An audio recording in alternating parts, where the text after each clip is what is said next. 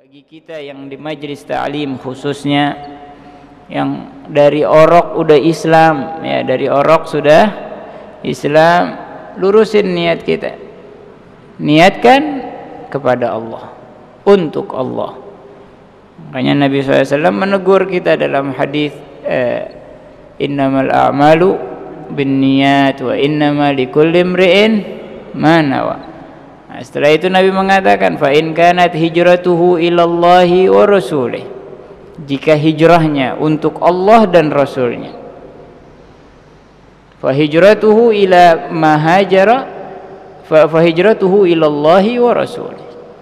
Maka hijrahnya dia akan kepada Allah dan Rasulnya, dapat Allah dan Rasulnya. Begitu juga di seluruh ibadah kita. Kalau niatnya karena Allah dan Rasulnya, maka kita akan mendapatkan Allah dan Rasulnya. Dan jika kita sudah memiliki Allah dan Rasulnya, maka yang lainnya kecil. Faman kanat hijratuhu lid dunia. Jika hijrahnya, ibadahnya untuk mengejar dunia, salat duha supaya kaya.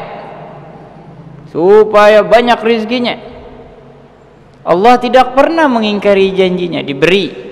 Fahijratuhu ila ma hajara ilaih. Maka hijrahnya dia tergantung niatnya. Tapi dia tidak mendapatkan Allah dan Rasulnya. Ini kerugian. Diluruskan niat kita lillahi ta'ala. Jangan sampai apa? Niat kita supaya mendapatkan kenikmatan dunia. Ya, dulu ada kisah ya. Seseorang yang kaya memiliki 100 ekor onta. Tapi nggak pernah sholat. nggak pernah Emang bisa orang kagak sholat kaya? Eh, banyak orang non muslim kaya banyak menandakan kekayaan itu bukan kasih sayang dari Allah. Nah, kita banyak nilai bahwa kekayaan jabatan kasih sayang dari Allah tidak. Semua ujian. Sama. Akhirnya orang kaya tadi pengen ah pengen sholat ah. Karena dengar ceramah kalau orang sholat itu orang ibadah itu akan diberkahi oleh Allah oh dia semangat pengen sholat.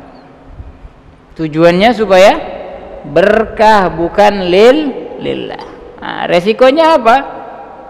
Begitu dia sholat setiap dia sholat ontaknya mati satu. Setiap dia sholat mati lagi mati lagi mati. Sampai tinggal satu.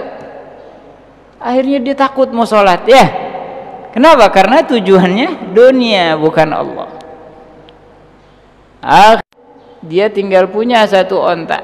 Diurus. Kalau nih unta ngamuk-ngamuk dia bilang lu mau diem apa gua sholat dua rakaat? Nah ada galat finniya salah dalam nih niat. Tapi kalau kita lurus dalam niat apa pun yang kita dapati dalam kehidupan ini baik itu lapar kesulitan tapi kita sudah punya Allah dan Rasulnya maka kelaparan yang dialami Nabi kelaparan yang dialami sahabat adalah nikmat. Ya. Tapi orang yang tidak memiliki Allah dan Rasulnya biar kaya raya biar pemimpin dunia tidak ada kenikmatan di dalamnya. Tidak ada kenikmatan. Tanya. Ya. Tanya sama mereka yang kaya kayaknya senang ya oh artis jalan ke sana jalan ke sini. Hmm, tanya hatinya senang apa enggak? Tenang apa enggak?